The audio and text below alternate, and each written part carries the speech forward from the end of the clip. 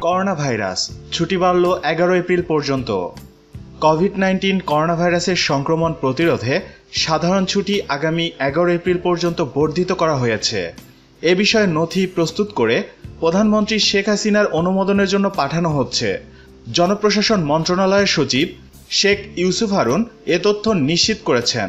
তিনি বলেন সাধারণ ছুটি আগামী নয় এপ্রিল পর্যন্ত বাড়ানো হচ্ছে। সঙ্গে সাপ্তাহিক ছুটি দশ এপ্রিল শুক্রবার ও এগারো এপ্রিল শনিবার যুক্ত হচ্ছে।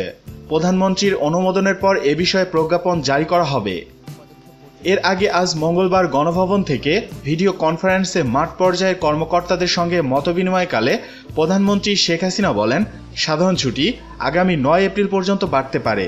এর আগে চব্বিশ মার্চ প্রধানমন্ত্রীর নির্দেশে মন্ত্রিপরিষদ সচিব খন্দকার আনারুল ইসলাম এক সংবাদ সম্মেলনে প্রথম দফায় দশ দিনের সাধারণ ছুটি ঘোষণা দেন।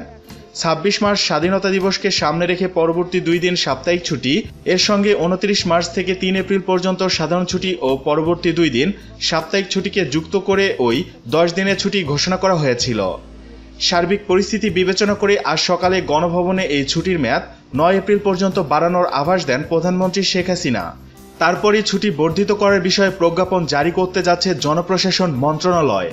ধন্যবাদ। আমাদের সাথে থাকার জন্য সাবস্ক্রাইব করে আমাদের পাশেই থাকুন।